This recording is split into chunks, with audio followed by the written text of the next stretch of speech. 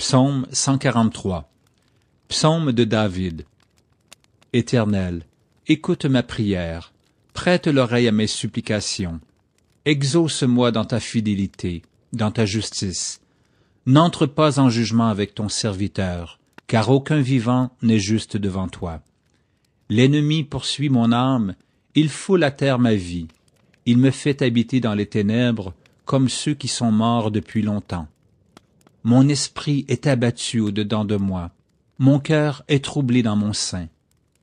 Je me souviens des jours d'autrefois, je médite sur toutes tes œuvres, je réfléchis sur l'ouvrage de tes mains. J'étends mes mains vers toi, mon âme soupire après toi comme une terre desséchée. Hâte-toi de m'exaucer, ô Éternel, mon esprit se consume. Ne me cache pas ta face, je serai semblable à ceux qui descendent dans la fosse. Fais-moi dès le matin entendre ta bonté, car je me confie en toi.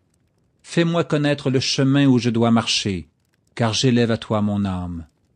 Délivre-moi de mes ennemis, ô Éternel. Auprès de toi je cherche un refuge. Enseigne-moi à faire ta volonté, car tu es mon Dieu. Que ton bon esprit me conduise sur la voie droite. À cause de ton nom éternel, rends-moi la vie. Dans ta justice, retire mon âme de la détresse. Dans ta bonté, anéantis mes ennemis et fais périr tous les oppresseurs de mon âme, car je suis ton serviteur.